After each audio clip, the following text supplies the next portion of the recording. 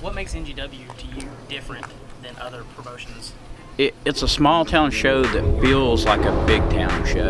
Uh, the crowd, 100%. The energy sticks out to the, for the whole night. The fans are into it and they're loud and they get behind their favorites. The NGW, they, you can tell they put their heart and soul into it. Uh, there's a lot of other great companies also in East Tennessee, but right now in NGW, they're doing something special.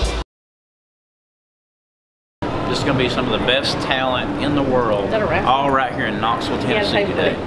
Yeah. WWE's nice, but this is where it's at, independent wrestling.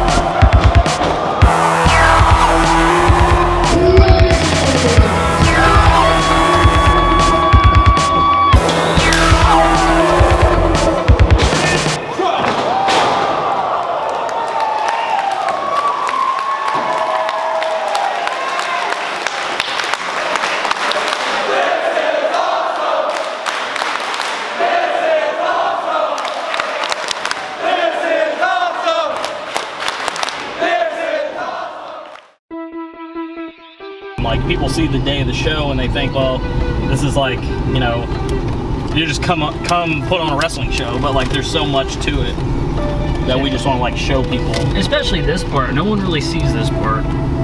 This part's the most taxing because it makes makes or breaks us. Like we both work jobs, so like, you know, like this is like a second job, really. You know, but I mean, we both enjoy it, but it's just one of those things where it's like, it is demanding at the same time.